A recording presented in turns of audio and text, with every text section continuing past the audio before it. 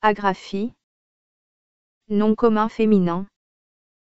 Mot composé de A, qui veut dire sang, et graphie. En médecine, impossibilité d'écrire, constituant, avec l'aphasie, deux symptômes importants des maladies mentales, des apoplexies et du ramollissement cérébral ou des incapacités motrices. Apparenté étymologique, dysgraphie.